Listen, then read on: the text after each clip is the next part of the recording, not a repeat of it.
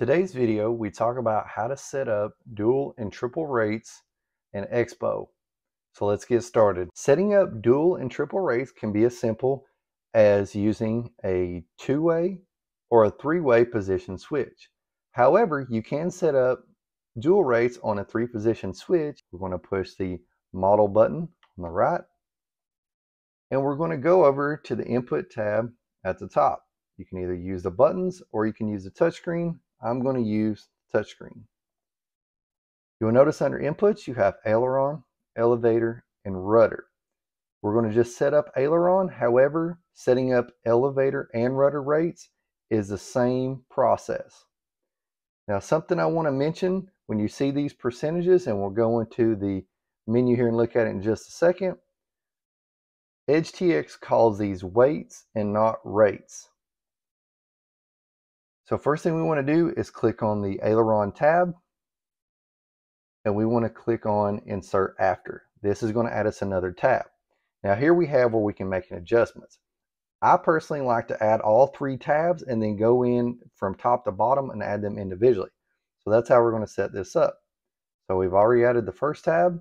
You see we have two tabs for aileron. We're going to click on the one we just added and click on insert after again.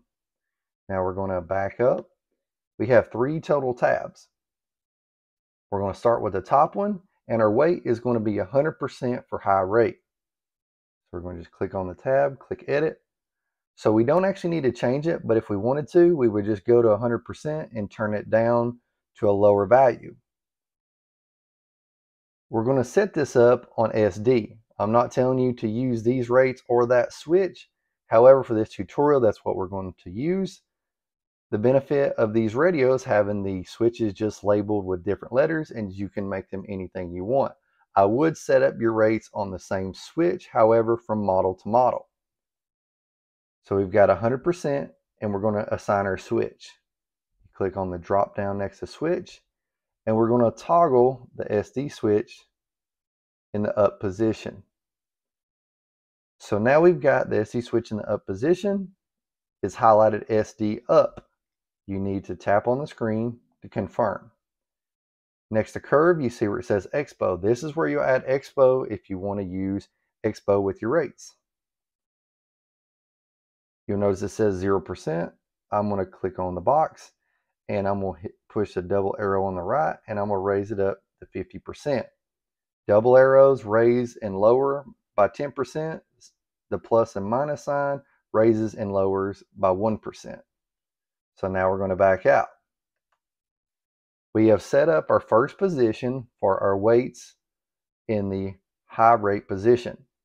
So if you look at the line here, it says 100% aileron with the SD switch in the up position and you have 50% expo. So I just wanted to go over that so you know how to read that once you've set it up or if you're going back into the model to make adjustments.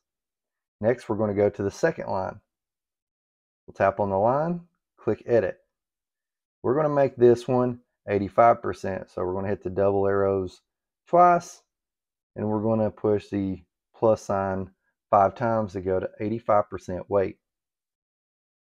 We're going to click on switch and we're going to make this our medium rate. So we're going to put the switch in the middle position. Now we've got SD dash highlighted, which is your middle position. We're going to click on the percentage and we're going to raise this to 30%. We'll click outside the screen. Now we've got 85% weight, SD switch in the middle, 30% expo. So we'll go out of that screen. Now we're going to do the last one at the bottom of 70%. We'll just repeat the same process we did the first two times. So we'll click on 100%, lower it down to 70, touch outside the screen. Scroll up, go to switch. Now we're going to put the switch in the bottom position. You'll notice on the screen, SD down. We're going to put our expo at 20%.